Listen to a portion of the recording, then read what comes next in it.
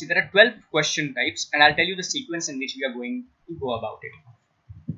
But before we discuss about these question types, let's understand one thing that it is literally very difficult to answer 40 questions in 60 minutes. Or you can say 2800 words to read 2800 words in 60 minutes. It is difficult to read all those 2800 words and then answer 40 questions in 60 minutes. So it is suggested that there are two skills that we need to follow in, in order to answer these questions. One is known as skim the other is known as scan. We need to skim or scan okay? What is scanning? Scanning means taking a particular word from a question and searching for that word in the passage. That is called scanning. For example if i give you a piece of paper okay with thousand words on it and i say figure out this word needed so what you are doing you're not just you're not reading each and every line you're just searching where this word is present this is called scanning to search for a specific information in a passage and what is skimming? Skimming means to read just few lines in a paragraph in order to get an overview of what the paragraph is about. To get an overview of the paragraph, right? We are not digging into the specific details of the paragraph.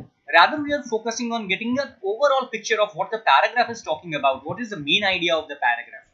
Okay, we're not reading in details. So for most of the question types, we'll have will will apply the skill of scanning okay but again when we go for scanning what kind what kind of words should be taken as keywords because as i said most of the information will be in paraphrase form right so what kind of words should be taken as keywords proper nouns should be taken as keywords what do i mean by keywords the words that we take from the question to search in that in the passage right you cannot take words such as let's say famous can you take this word as your keyword to search in the passage no, because this can be paraphrased in se several words, right? I can say, I can call it sensation, I can call it uh, popular. Okay. There are many other words that we can use instead of calling something famous, right?